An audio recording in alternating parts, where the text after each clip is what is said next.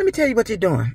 Just at the gas station. I'm telling you, this ain't no joke how money hungry these people are.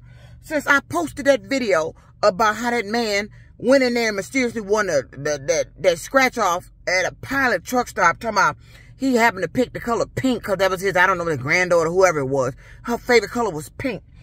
And I posted that video trying to describe how they do this shit. While they was coming in my apartment, they'll do that shit to try to get me to talk about it. And when I talk about it on social media, it's giving them clues of where they need to go. And, and, and I mean, this is world, this is statewide. Let me tell you, I was just at the gas station.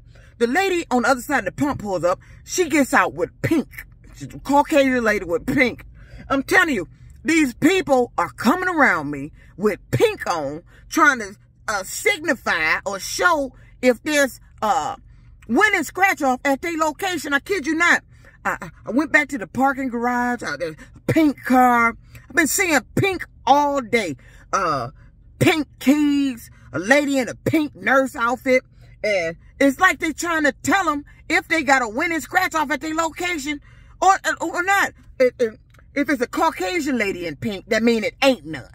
That's what it, it's supposed to be the opposite. Mean it ain't none. That's what it's supposed to mean. But then again, you know, they made up their own rules of this game.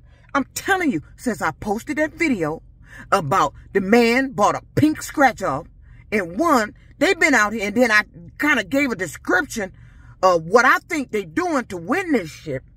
These motherfuckers has been out here and been coming around me with pink I can't go to the store unless they watching me or, or all of a sudden a, a rush of traffic coming into the store. They piling in gas stations.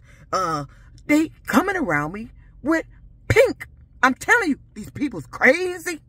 They money hungry. You ain't gonna win that way, bitch.